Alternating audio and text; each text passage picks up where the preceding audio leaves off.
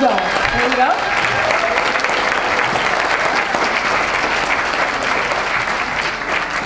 Then I have Dr. Stefan Franzoi, our social psychologist.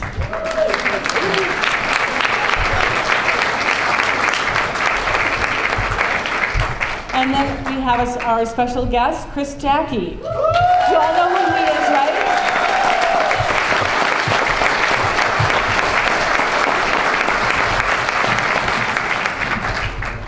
Well, I'm going to hand this over to Michael. He's going to fill you all in.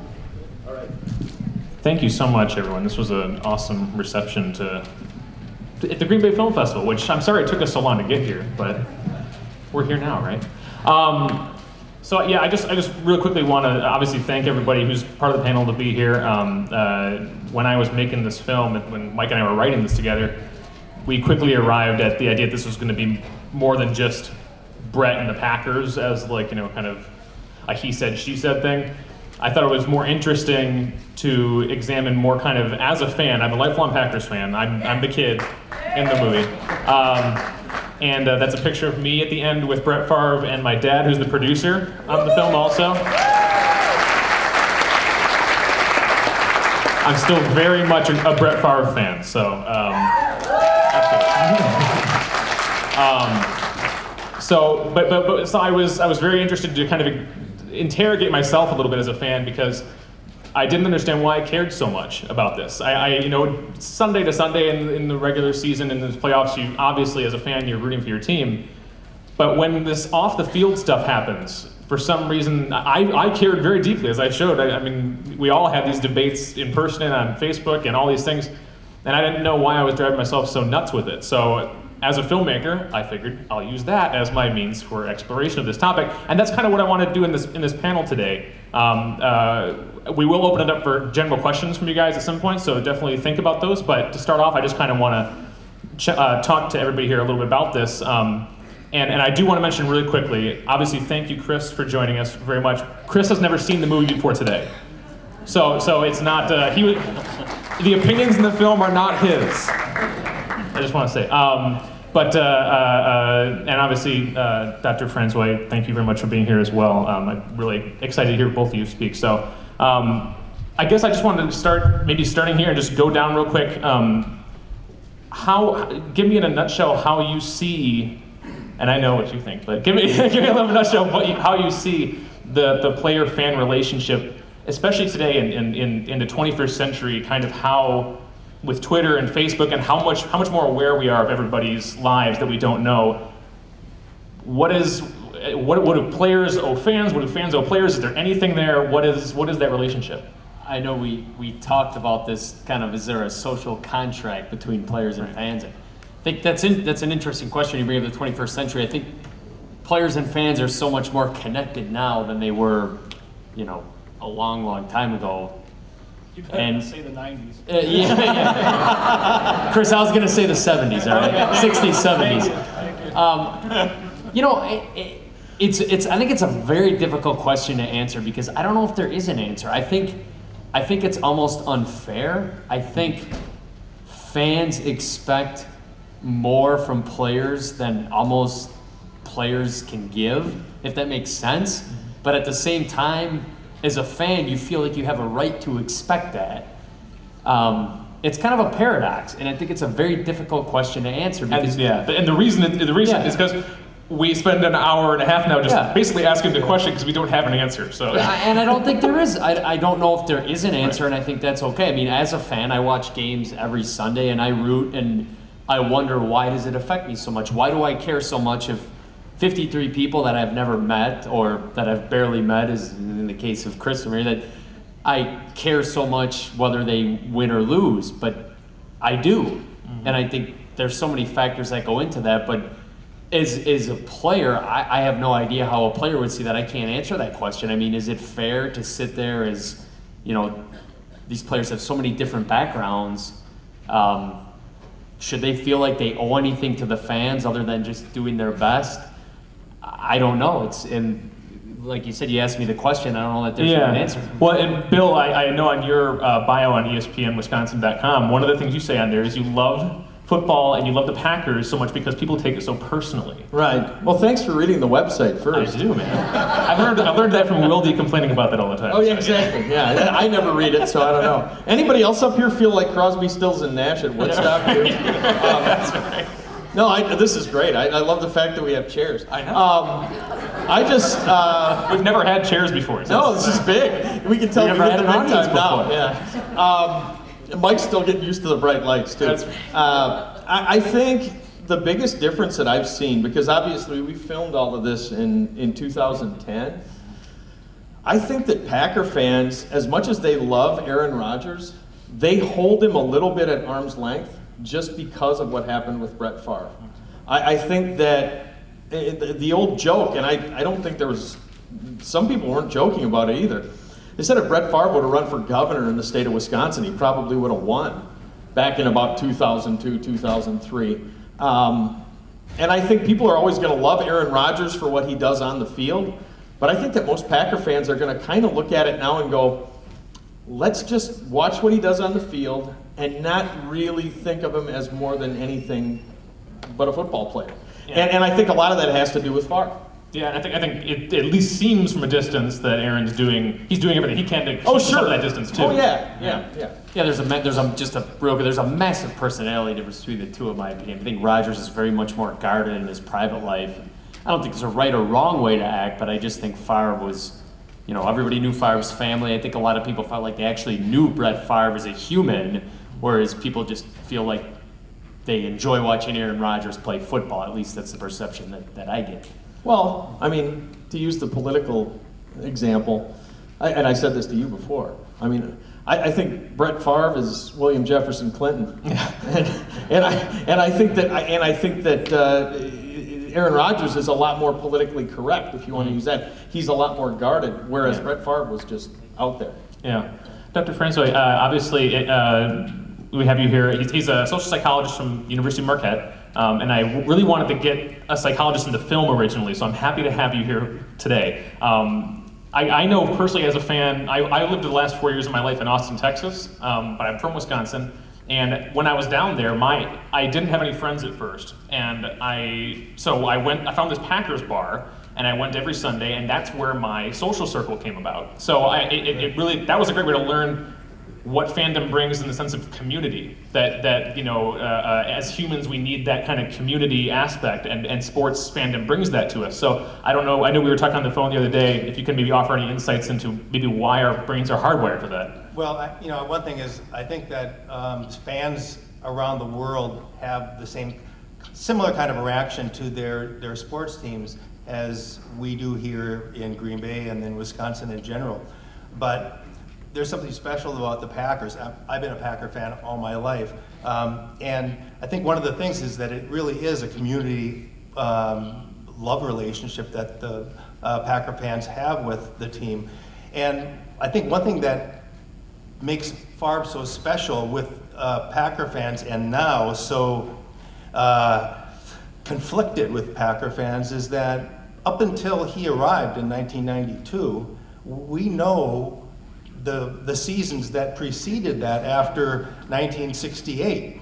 Uh, that there were, I was in graduate school for a good deal of that time and away from the from the Midwest. So that was one of the good things for me is that I didn't have to. I only would, would read about the Packers' losses, you know, the day, a day later. Um, and I and I think that to a good degree, if you look at the research that's been done on fan behavior, that of course all of us get our self-esteem, our feelings of self-worth from what we do in our lives, from um, our successes and failures ourselves, but also we derive a great deal of our own sense of self-worth indirectly by um, basking in the reflected glory of other people who we I, emotionally identify with.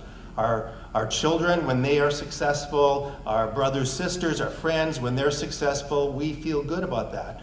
And the, the relationship that fans have to their sports team, it's that same sort of emotional identification. And Favre came at a time where he resurrected that feeling of pride in Packer fans. And so there was this strong emotional bond, and you know, your feelings would be elated when the, the uh, Packers would win, and they would be crushed when they would lose. And then, um, and and it's not rational. It's, you know, it's, it's from, it's a part of our brain. Thanks for telling me I'm screwed up. I, I already knew that. I was gonna say, like, you need Yeah, to if, right here in the pre in the prefrontal cortex, that's where we do all of our higher order thinking. Uh, emotions, passions are located deep within our brain. The more primitive area, um, the amygdala, and and we need that sort of thing. And when when we have this relationship with with a team, and when Favre left the way that he did, and then he came back on the other side, it was it was as if it would be similar to a tribe in our ancestral past who is competing for scarce resources, life and death, and they have this nearby tribe that's always uh, they're in conflict with, and they have a warrior that has always been defeating that other team and or that other tribe and been leading to, uh, their tribe to victory. And then all of a sudden something happens and they look across the field and there's the, the their uh, competing tribe who they hate and their warriors on the other side. And that's the kind of uh, conflict I think that the Packer fans were dealing with. And it's, it's not rational. It's certainly, you know, uh, something that when we, we think about our feelings for Brett Favre now, uh, I'm just actually in the past few months, I'm beginning to think about some of the good times. So I think I'm coming through the process myself. Um, but it is, it's, it's a very emotional, irrational kind of relationship we have. Uh, at, at Marquette, uh, George Kuntz is, uh, is there, and George just finished his, finished his PhD, and he was studying the, the pack, uh, uh, pro football players and the fact that it's, uh, you know, the average length of time is three to four years in the league, and um, they have a hard time often redefining themselves. And I think that fans do have this irrational uh, view of what the allegiance should be, and and um, within the within players themselves, they realize the realities that they aren't going to be around very long, and so they've got to, in a sense, care for the, their themselves and the players within the locker room. I'm sure have that feeling of that they're there and they've got this bond, but outside, that's a different story. Sure. Well, and I, and I know, I, I always thought there were like three parties in this particular situation with Brett. There was Brett Favre, there was the Packers, and there was the fans. And we've all been seeing recently, uh, in recent weeks and months, some, some signs that the Packers and, and Favre are starting to get beyond the stage where they were kind of introspective about this and maybe getting close to coming back together in some fashion, which is wonderful, I think. Um, I, I did this as, as, as hopefully this can be part of the piece of fans kind of coming to grips with it as well. I, I- I not just this, obviously, but just in general. There's just a that's that's that's my highest hope is that that we fans now can also come together and and and kind of ask for that reunion to happen as well because I think it's in the best interest of everybody at this point. But Chris, I just wanted to bring you into the conversation and ask you. I mean, you're a beloved Packer. Congratulations on being inducted into the Packers Hall of Fame this summer, coming up.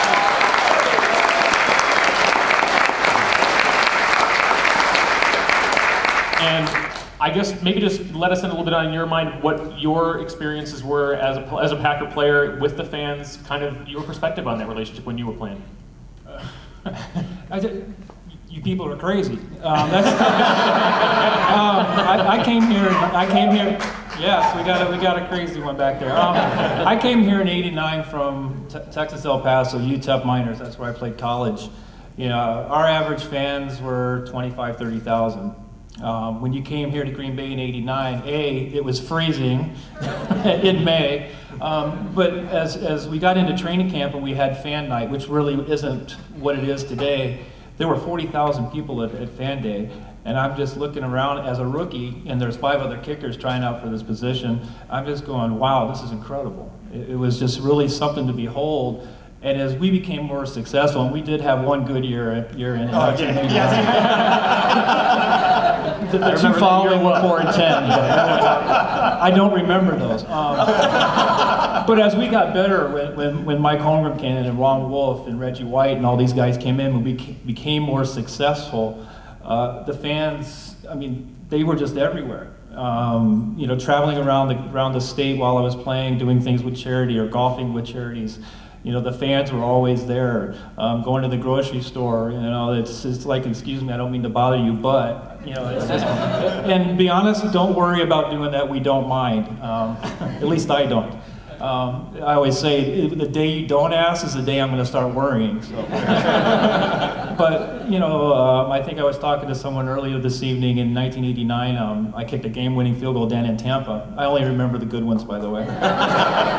Um, we flew back from Tampa. I didn't get in until like 11:30, 12 o'clock at night, and we got off the plane, and the and the pilot came on and said, "But guys, we're going to have to, you know, streamline you through the airport."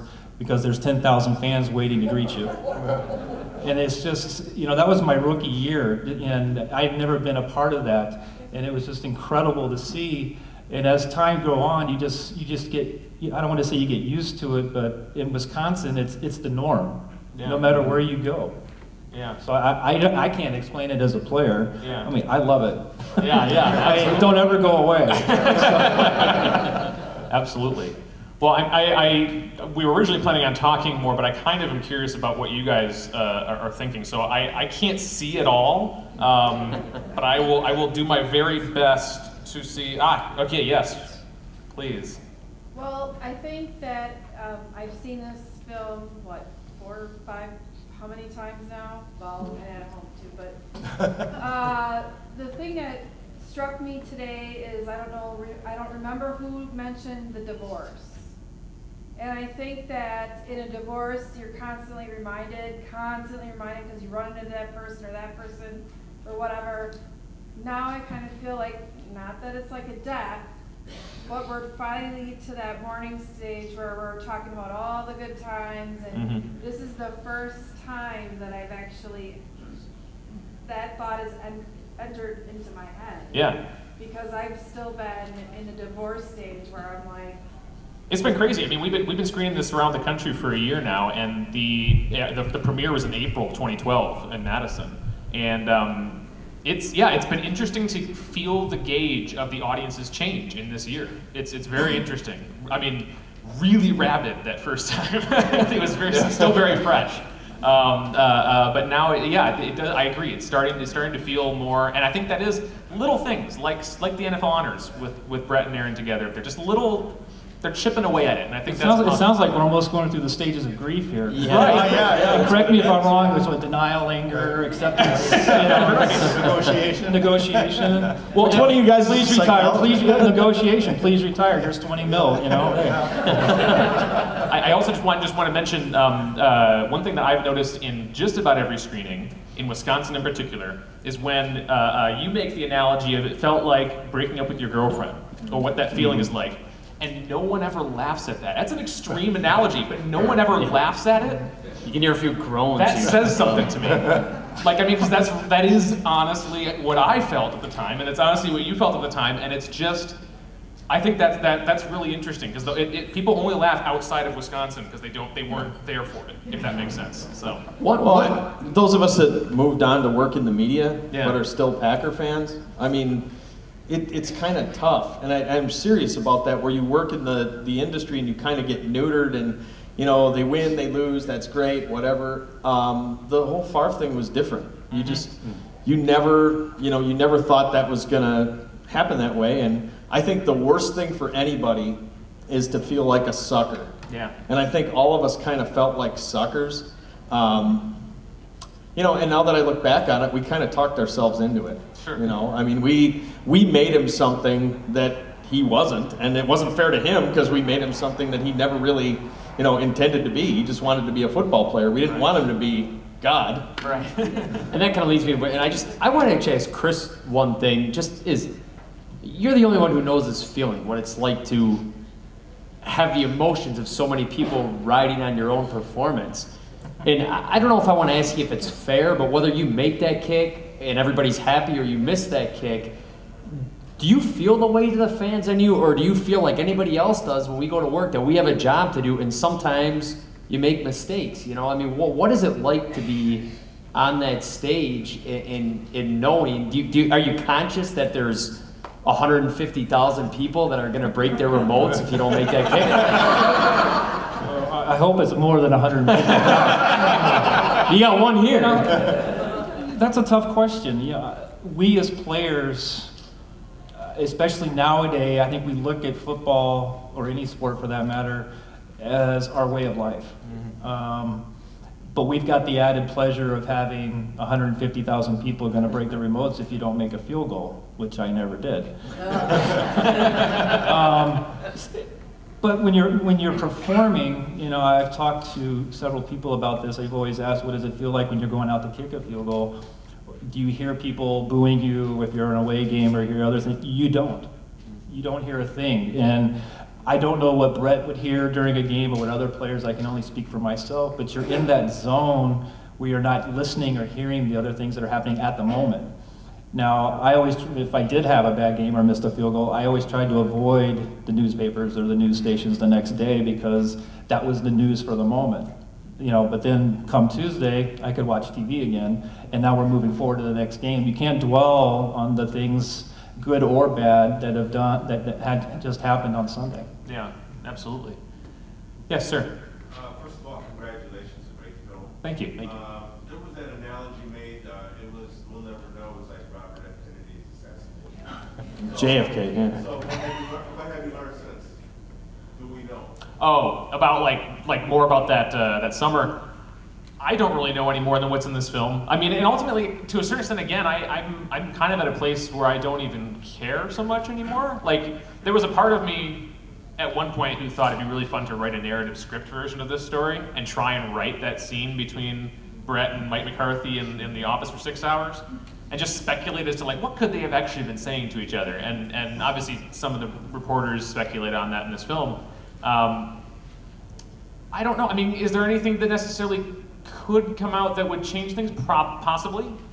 I, I but but we don't know. So we can only this this film for me was kind of as I said a self-interrogation and an exorcism of, of my extreme emotions that I was feeling at the time. So uh, you deal with what you're given, I guess. But no, I don't know anything more. I, I think my favorite part is when Favre is on with uh, Greta Van Susteren, and he says, "Well, I'm not going to call Ted a liar. I'm just going to say he told an untruth." yeah. So he, he doesn't know. Well, yeah, I, um, I think Mike's right. At this point now, it, it really it doesn't matter anymore. It, I mean, it happened. Uh, I do agree with Homer, um, who put this forth back in 2010, and and he was the only one that really had this notion that it was more McCarthy than it was um, Thompson.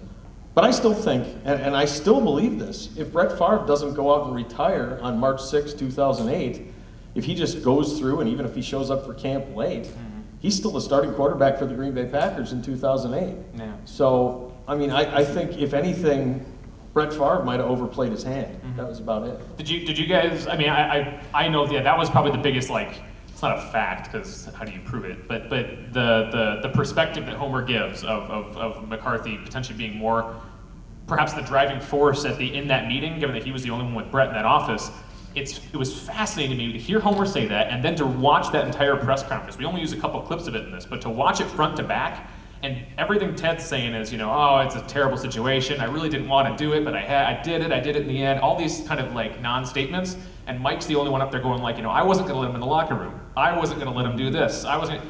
It is interesting that more of us didn't catch it. I didn't catch it at the time, but we didn't really pick up on that uh, when that first happened. But so that was maybe yeah. I agree. it was easy to paint Ted Thompson as, Right. as a villain. I think at that time, I think that was the, it was Thompson versus Favre. You had your lines drawn, and Right. when situations get that emotional, a lot of times you don't see the things that maybe fall through the cracks a little bit. But who knows? You know, I mean, who knows if we'll ever really know what happened? Who, I mean, it was such an emotional situation, not just for the fans, but for the people involved that Yeah. they might forget what they thought at the time, and, and that might be it. Yeah. Yes, please. Um, I was just wondering why you didn't mention Ari Fleischer in the, in the movie. He, we had a, a deleted scene that was all about Ari Fleischer. He's- he's Um, we, if, for those of you who don't remember, uh, Ari Fleischer is the former Bush White House press secretary, um, and he actually was uh, brought in as a consultant briefly in that 2008 offseason to consult the Packers organization in how to deal with the Favre situation. Um, and he, this was like, I mean, think about the timing of this. This is 2008, so you know, Bush is still in the White House, and like, and, and, and politics aside, like, it was as, as Bill says in the deleted scene, is there there's no one else that we could have in like other than this really political heated figure and bring him into this mix? And, and I thought that was fantastic, and I was sorry to lose it. Um, but it was cut for time uh, uh, ultimately, and again, from a craft perspective, uh, I wanted this to be about 90 minutes. It ends up being 81. Um, so hopefully it was very digestible. It wasn't like this meandering thing. Um, but then also. Right, exactly. And and it's uh, in order to do that, you kind of have in your mind, okay, what's the thesis of this story? This this what we're examining here is the relationship between fans and their heroes. And as perhaps Ari Fleischer's aspect to the story actually does color a small segment of that in terms of our relationship with the Packers organization. It just wasn't. It couldn't outweigh anything else, so I had to cut it. I can, it is fascinating. I can just expand it from a writer's perspective. If, if I had written a script and there were no edits by Michael, it would have been like 881 minutes. Um, So blame me. Yeah, but but you really writing for a film, you really learn. You do have a finite audience, and it, it, it is as interesting as that topic was. It just was so difficult to work it into the film in a way that it didn't feel like you were running off on a tangent. How, how do you, how do you go away and then bring the audience back? See, people don't remember, um, John Jones was supposed to be the president of the Packers. Bob Harlan was supposed to have retired. Well, it, with health problems and with other things, John Jones didn't take the job, so Harlan stuck around for a couple years. It couldn't have been worse timing. And I, and I don't know how Bob Harlan would have handled it. I can say with a lot of confidence he would have handled it better than Mark Murphy did. Um, I much, I would have much rather had Bob Harlan handle the situation than Mark Murphy, um, because Murphy had never done it before, and he was clearly, I mean, it would have been like me being president of the Green Bay Packers, you know, just It's a tough "Oh, spot." Let's send him his locker, you know, let's try and bribe him, let's do that, you know. I mean, and, and by the way, I say in the movie that I thought the Packers had their hearts in the right place. I don't anymore. I think they tried to bribe him. yes, please, sir. Um, Bill, I enjoyed you on Green and Gold today. Oh, thanks. no, I gotta pay you. Quick question that maybe both you can answer. Just going back one question. I think it was Tom, and I'm going to butcher his name, Pellerosso. Pelissero. Pelissero. Said, kind of leaked out maybe that maybe during the Giants championship game, he was thinking about yanking Favre, McCarthy at the time. Yeah. Um, and kind of with that, I know you couldn't interview anybody, or they didn't want to be interviewed for the Packers. Uh-huh. But we also kind of heard here in Green Bay that maybe a few of the executive board members were kind of putting pressure to maybe bring Brett back Mm. and not go with Rod. Have you seen or know anything of those stories? The second part, not as much, but I'll, I'll pass that off in a moment. But I have a story for the first part. So I asked Tom Pelissero about that on camera, um, and uh, uh, let's just not touch that because it's it. it the, uh, the Can't out his source. Well, he can't out his source, number one, but that's but but he could have in theory just like confirmed that he did. I mean, because you can still find that it's online, the article where he actually said that, um, and the quote I believe was, "If he wasn't Brett Favre, I'd bench his ass." Is the quote that they thought they heard Mike McCarthy say at halftime of the 2007 NFC title game. Um, I asked Tom about that, and, and he didn't really want to touch that because it's the, their, the organization's not happy with that. I guess that's the extent of what I know about that. Um, but you can still find it online. It was, it, it is there, so it's interesting. But I don't. The second part, I don't know about the board members. I don't know. I don't know about board members, but there had been, I mean, and, and I think I alluded to it in the film too, going all the way back to the Bears game of that season where they played in cold weather and Favre just looked awful. Um, there, there had been people off the record that had made comments that, yeah, that they had, they were starting to lose confidence in him playing in the cold. With that though, I'm still convinced that if he doesn't have that retirement ceremony on March 6, 2008, if he just goes through and continues to be Brett Favre, he's the starting quarterback at the beginning of the next season. Even if they, even if they are losing confidence in him, mm-hmm. even if it is Mike McCarthy who appears to be kind of the hammer in this whole thing, Right. I, I still think he's quarterback if he sticks around. Because there's no, there's no, from a purely public relations standpoint, there's no way that you can do that. I mean, there's no way that you Right. can, you can say Favre's coming back. Sorry, Brett. You know, I mean, because on the, on the surface, his 2007 season was phenomenal, despite the cold Right. weather mistakes, despite the NFC Championship game. He had a great year, and he proved he could still play two years later with the Vikings. Uh, so you, yeah, you, you're absolutely right. But there's no way you could say that. Sorry, Brett. You know, but once he retired, that was the sorry, you know that you, you you did it, you said it, it's done. Now you're the one that's got that's begging. As badly as it went from a PR standpoint for the Packers, I mean, he basically played right into their hands. Yes, please. Longtime Packer owner, and I guess this is a question for our uh, psychi- psychologist. Wonderful. Um, been, I, I've lived in a lot of cities where there are fans, people embrace their teams, but with the Packers being publicly owned, does that add another layer to the dynamics and make people feel a little bit more invested? And, Yeah. and, and a quick question for Mike, did you try to interview Favre for this? I did. I'll let him answer first, and then I'll give you. Yeah, I think it does. I mean, first off, you know, Green Bay is, is the smallest, by far, the smallest community that owns a professional sports organization like this uh, anywhere. And so it's very unique. Uh, The fact that there's this stock ownership, and I'm, I'm a stock owner too, uh, that, I think that, that shows that there's this strong emotional identification. And I think if you talk to other people, sure, there, there are other uh, sports teams do have the rabid base of fans, but it, there's something special when you can see, uh, you know, your, the sports athletes walking around and, and you can identify them. And really, Green Bay is identified by uh, the Green Bay Packers. And there aren't that many uh, cities that, that that happens with. Chicago, I mean, Los Angeles, um, you know, New York, there's, they don't have the same emotional identification because there's a lot of other things to identify with. And here in Green Bay, it's the Green Bay Packers. I always, so I just, depict- I mean, it's like the world's largest high school football team. I always say, you, you remember everything, and I, maybe I'm gonna, I'm gonna flatter Chris for your saying, but who doesn't remember the 53-yard field goal to beat the 49ers on, on Monday Night Football? And I, I, I can, I can say that to Packers fans this day, and, and that happened, you know, what's, that was in 1996, and I can remember that I can see it in my head. yeah, very clearly. Because I, no offense, Chris, I didn't, I, I wasn't quite confident you were going to hit that one. Because it was, a, it was, it was a, it was a very difficult kick. But I should have had more confidence because it, it was dead down. It would have been good from 65. 65. It was snowing, I Yeah. think, wasn't it? A hur- hurricane. It was a blizzard. But but the point, I mean, you can as a sports fan in any community, but especially one in which it's so tight knit, you can remember. I mean, what what do you think when I say fourth and twenty six? Oh. Every, every, everybody. Oh, I, I knew that was gonna happen. But it's these these moments that get ingrained and that become part of your part of your life and part of your part of your timeline. And I, I mean, I can I can measure my life, and maybe it sounds sad, but you know, it's like pre '96 and post '96. if, and if, if you say 2010, well, that's the year the Packers won the Super Bowl. That's the first thing I think of. You don't go fourth and 26, though. You go, after further review. But yet, when you ask me what my wedding anniversary is, I have to think about it. So the good doctor here can tell me what that says about me. But that's just, that's just the way it is, I guess. Absolutely. And, and to answer your question before, yes, we did approach Brett. We did approach the Packers originally, early on, when we were going to do this, um, when it was going to be a completely different sort of film.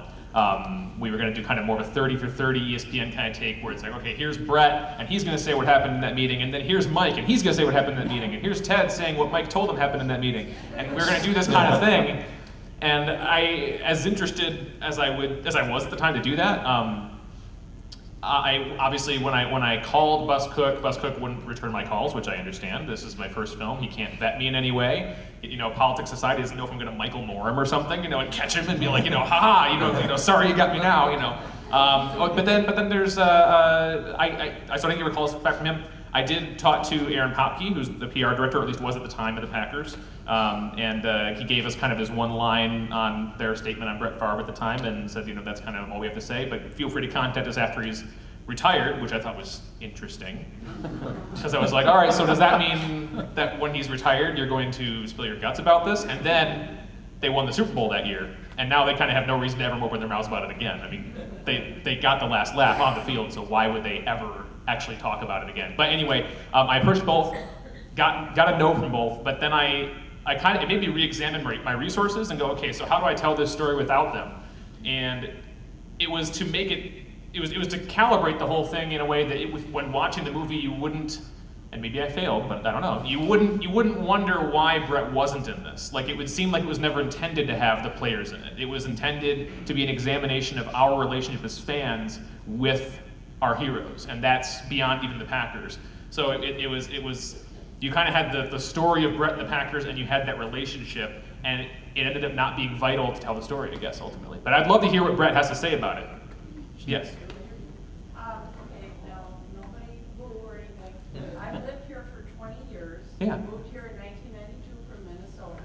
Boo. I'm a diehard Vikings fan, and the- the greatest game of my entire life was the season that Brett Favre went to the Minnesota Vikings. Yeah. Because for sixteen years, I had to watch him.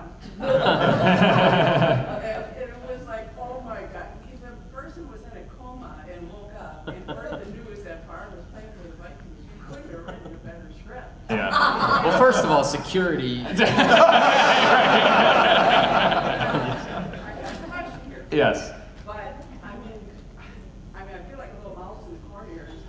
No, I, I gained respect for Vikings fans through making this movie. I just want to tell you. So you got a friend in me at least. It's okay. So we, we loved Brett Favre. We thought he was a great player, and uh, ju- just to have him there, it was just amazing. It was just the most amazing feeling in the world to watch. And I would have to say that Green Bay made me a better football fan because it wasn't that I used to live in Chicago and I used to live in Ohio, and you know I just was never that big of a fan. But um, and now I'm a diehard Vikings fan, and I would say that there's a few things that you missed Hmm. about um, the relationship thing. Please, yeah. And it has to do with like Brett Favre actually told you, like this was good for football.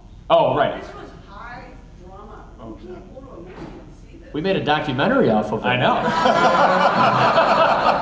Yeah, actually, It's very good for us. And as we've been accused of, we're making millions of dollars. No, not we haven't made a dime. So anyway, continue. Why think it solidifies our relationship, it makes us bigger rivals, it makes us more fun, and it makes us want to have something else like this happen again, and, you know, I- I- and confidence and- I'll be honest, I, I couldn't agree more that it has added to the rivalry, without a doubt. Um, so I, uh, uh, but I'll, I'll tell you this: the in terms of in terms of missing it, I mean, we, we like I let Brett kind of say that, and then it was I felt that was kind of saying it. Um, because I agree. I mean, it is it is there, it was high drama and it added so much to the rivalry, and I felt that was kind of uh, uh, subtextual. It was kind of a, it, it, it would come across without someone hitting the nail on the head. Um, having said about now about Vikings fans, I gained huge respect for the Vikings fans through talking with Tom Pelissero, who now covers your team in the Twin Cities for ESPN, um, and uh, uh, he told he told me stories about how Vikings fans are the most tormented fan base in the NFL. And I don't mean this to put you down. I'm, I'm, I'm I like A lot of close calls. so many times you guys were like like there and like and then it doesn't happen. So I'm I'm saying like respect for sticking with your team. I mean fan to fan respect for that. But either way. Well, the other thing is, doesn't it even matter that, that Brett Favre threw that interception with the New Orleans Saints game? Yeah. Oh, yeah. I mean, that we should all be proud of having the opportunity to And I, and I'm a huge Brett Favre fan still to this day. So. And my question has, is, is for Chris, is, is how do you feel about the whole thing? How do I feel about the whole thing? You know, um, watching, that's the first time I had an opportunity to watch the movie. I remember Brett as a Green Bay Packer. If you were to ask me what his greatest plays were, I couldn't tell you one that he had with the Jets or the Vikings. And I kind of looked at it like, it, it's like my son, it was in trouble for a couple years, but you still love him, and he's going to come back. That's how I feel about Brett.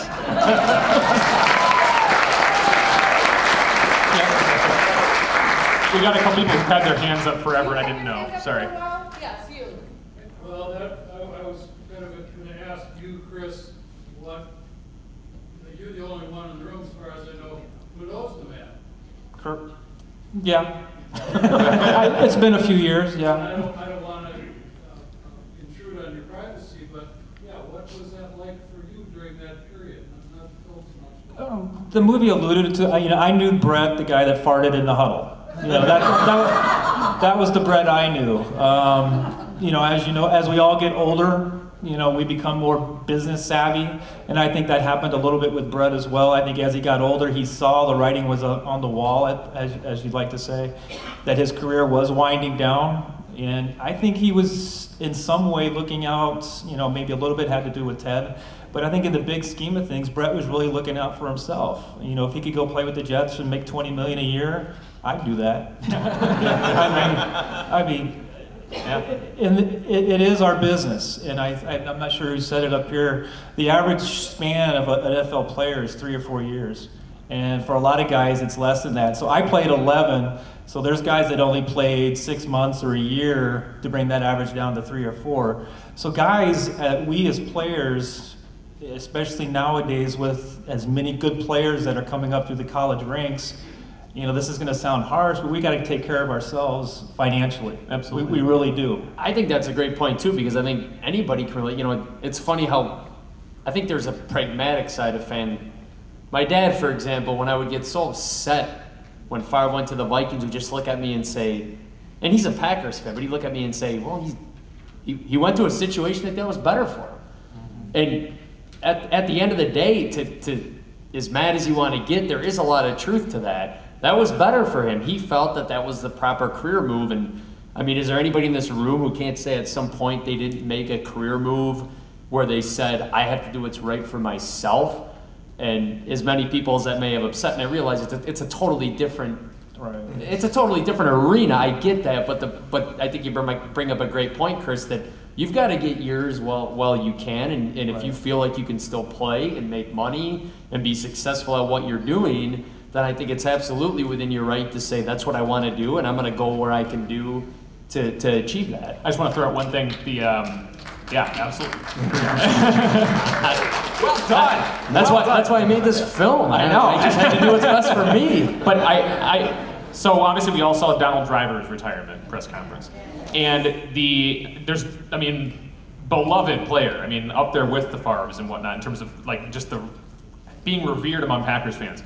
I watched that press conference, and obviously he, he starts off, you know, I love you guys so much, right? Okay, so he, he kind of, I think, learned a bit from, from Favre's separation. But also, he's, he made a comment about halfway through where he said, as much as I know I can play, I feel I owe it to you and the organization not to tarnish my legacy. Okay, but he says this, and I felt a little bad when he said that. Because I was like, oh, well, I mean, you, you, you feel like you can play it, go, man. Like, I don't, you don't need to do it for me. Like, you can, you know, go play for the Vikings. It's okay. I really don't care. I like you, man. Don't, don't turn it down on my account. And, and, and, and that was kind of an insight for me as well. Just kind of like, you know, I, I, is it right for me to demand that Donald end his career here as opposed to going another year and playing somewhere else? I don't know. Would, would you have felt better if he would have said, I know I can still play, but I don't think I want to. um, I'd rather he hit the nail on the head as opposed to dance around it. Yeah, I just, I just, I just do have a little soliloquy that I've been holding here for a second. This is the, to the lady that's the Vikings fan. I love you. I feel bad for you. I really do. Because you're never going to understand why most of the people in this room felt as bad as they did when Brett Favre left. Um, and and it's, it's something that a lot of sports fans are just never going to feel. You know, I mean, I, I don't know what it was like to be a Bulls fan to see Michael Jordan playing for the Washington Wizards. Um, you know, I, I, don't know what it was like to be a Colts fan to see Johnny Unitas suiting up for the San Diego Chargers. I do know what it feels like to see Brett Favre suiting up for the Minnesota Vikings. It feels like crap. Um, I wish that every sports fan could have both the good and the bad that I got from Brett Favre. Um, and I understand why people that are Minnesota Vikings fans don't have that feeling. Um, and I feel bad for you, because I do. No, no, I get that. I get that. But but, yeah. but you're but you're a fan. But you're a fan of the Minnesota Vikings. It's just kind of you know. Yeah, the difference the difference is is that when Brett Favre threw the interception on the screen, did you hear the fan the people here cheer? I bet you weren't cheering then, but that's the that's the uh, on the other side of the pain is the vindication when you saw him fail against the Packers. That had to feel good on an emotional level, and that's something that Packer fans experience. I'm not, and I'm not saying it's wrong or yeah. anything. I'm just saying I feel bad for you because for, for all the bad that I felt for Brett Favre, I got all that good that I felt for those many years, and I I'll take that. And it was such a unique, which is was such a unique situation too, because I mean, you bring up the Unitas example, but was there ever any player that had such a public and bitter? I mean, Joe Montana maybe, but such a public No. and bitter divorce. The, clo- the closest thing I can remember was when Steve McNair got Yeah. locked out of the Titans facility. Or- he, had he had played for the Titans for his whole career, and they were just parting ways with him. And he couldn't even get in there to lift weights. And I said, "Wow, good thing that'll never happen in Green Bay." we, we, we got one more person that was holding their hand up for a long time. This isn't the last question. It's just. Yeah, I know. I just I just don't know who. It's back here. Okay, go ahead. Yes. First, I have to say that there are, you know, it takes 60 years, isn't it 60 years, to get a ticket in Green Bay? Oh, for season tickets? Oh, yeah. Season ticket. Yeah. So there, you know, when when you're talking fans, you're talking 1992. Yeah. You know, and the 20, 23, they were selling those five dollar certificates, you know, in Green Bay. Packer fans are the fans, seriously. Uh, Michael, you did a brilliant job of pulling all this together. My father and my brother fought tooth and nail over this. So divisive, and he stopped talking, and we said two people that over talk about Packers. So, and- and The amygdala, That's the quote of night. The amygdala. Yes.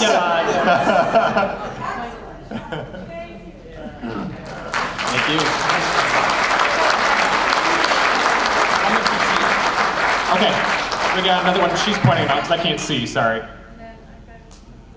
So. who- I feel like I'm a huge fan of underdog teams because, you know, we won the Super Bowl when I was in high school. I've been a Cubs fan probably since the day I was born, and it's been over 100 years. Now I that's feel terrible underdog about team. that. Yeah, we, you said you felt bad for. I feel bad for you. that's a hundred years. That's the fan base you need to Sorry, explore. that's it. No, the Cub fans. entering an era that is making me uncomfortable. Um, it- Lance Armstrong is somebody who I look up to immensely for the work he's done in his personal life.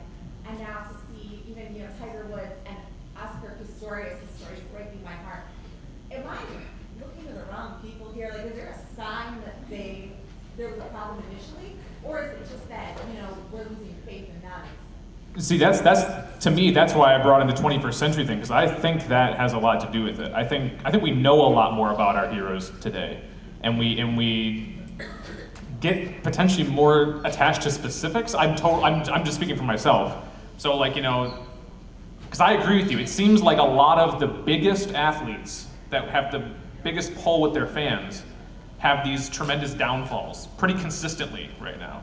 And I don't know. I don't know what that's all about. I don't know if anyone else has any thoughts, but I think that's actually a, a really good question to bring up, and, it, and it's.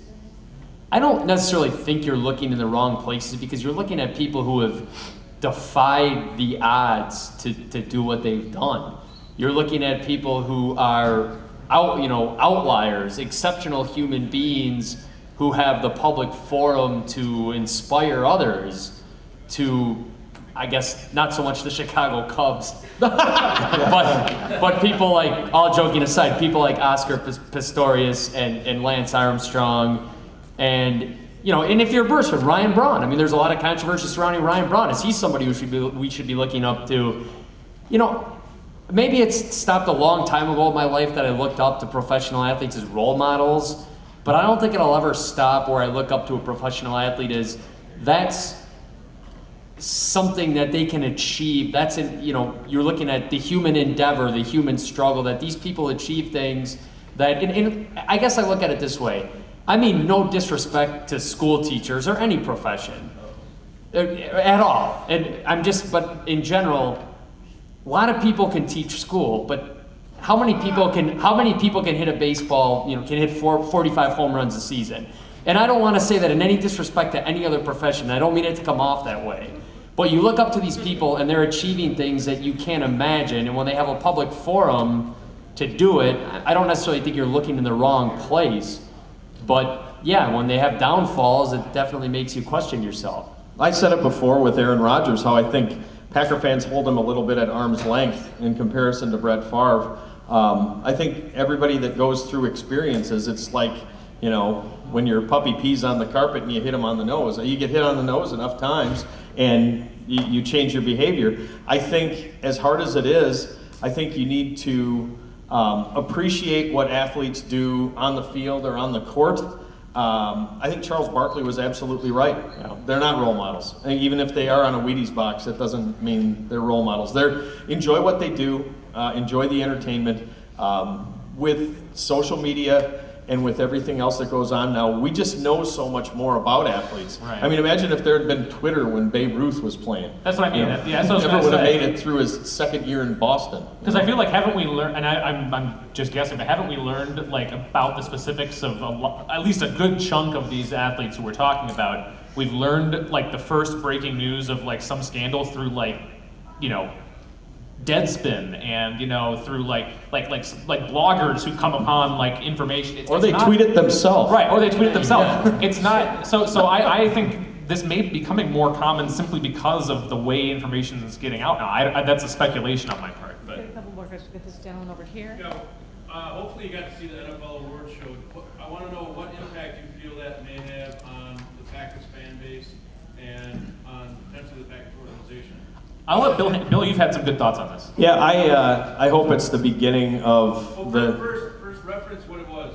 Oh, well, they, they were they, they went up to present the award for uh, comeback player of the year, and uh, it was funny. I mean, you know, the the money line was uh, Brett Favre saying, "Yeah, uh, everybody loves to see an athlete come back," and Aaron Rodgers saying, "Eh, "Not always." um, but they were both great. I, I mean, I think you you saw them at their best, and I think that the one really aggrieved party in the whole thing where it was unfair was Aaron Rodgers. He never did anything, and he got booed at the family night scrimmage.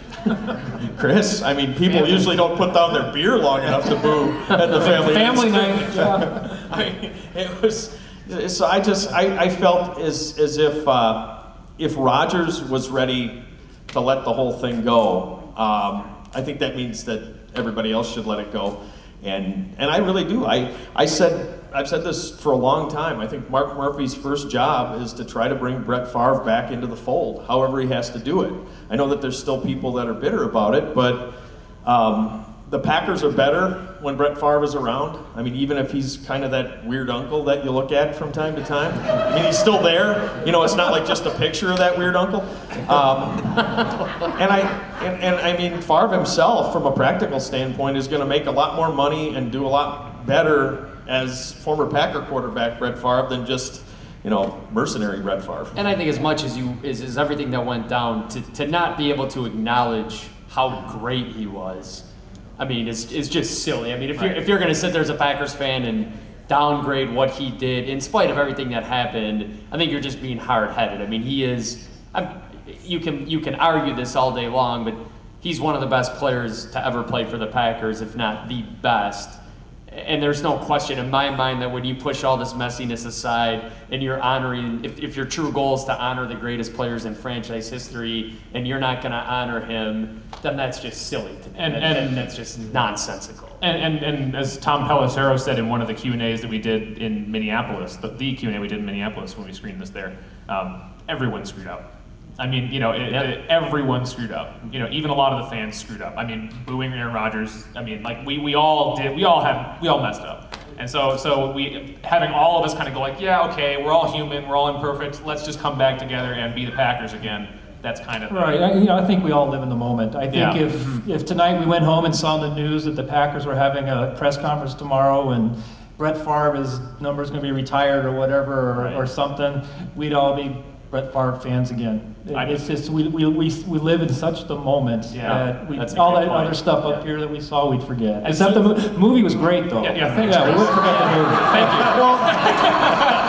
as soon as I see that, that, that highlight reel, uh, you know, on the jumbotron, yes, I will remember. I, I don't. I don't think anybody's going to forget. I think that uh, hopefully everybody's just ready to let it go. You know. Yeah, I- I, mean, I think it, this is Yeah. the whole thing. Is now you know, you know, you know what he's about, and there were mistakes made on both sides, and everything's cool. And Yeah, I'd be real interested if we took a poll, I think we we alluded to in part of the movie where we cheered when Brett threw the interception. No, were we cheering because Brett threw the interception or because the Vikings lost? I, I'm willing to bet it's because the Vikings lost. I really do. I, I Vikings? think Hands?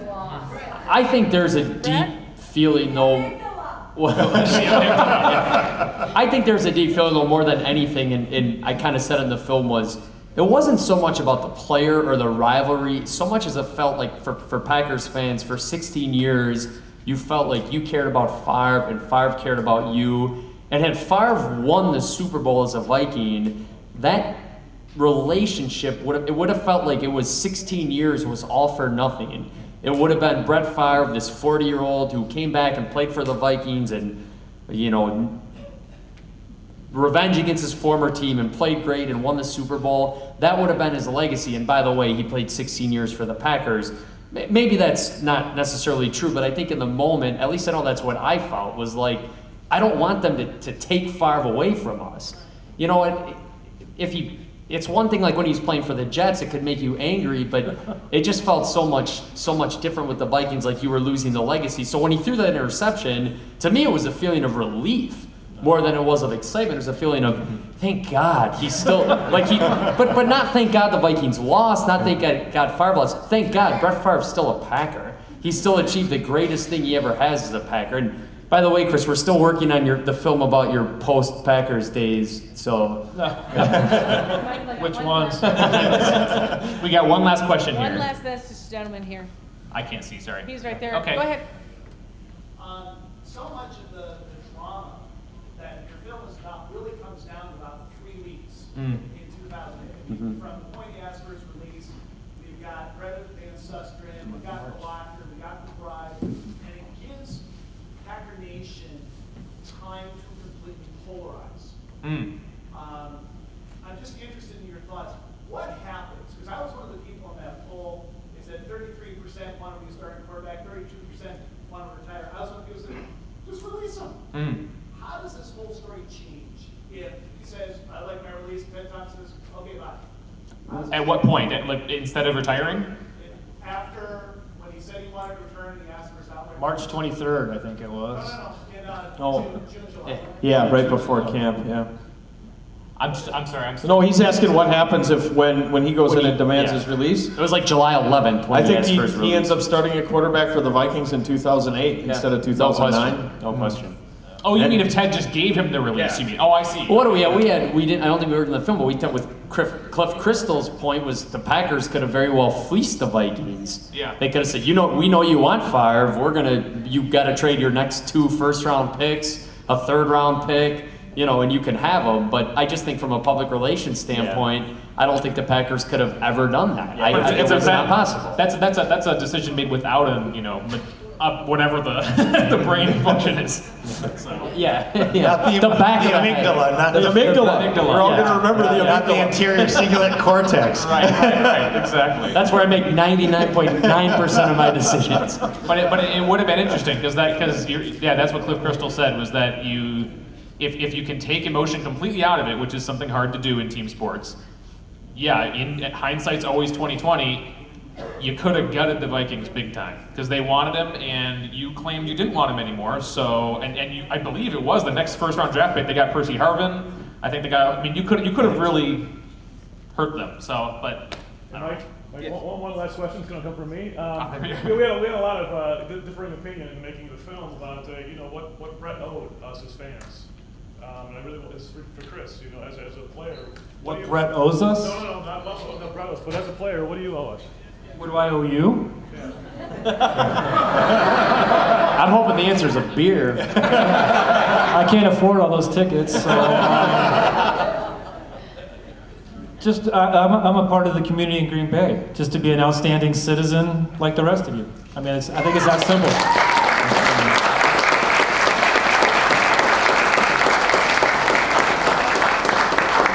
All right, so that is that. Thank you so much, everyone, for showing up. This is great to show in Green Bay. Thank you. Thank you. And thank you to our special guests, Chris Jacke and Dr. Stephen Franzoi, Bill Johnson, Mike Johnson.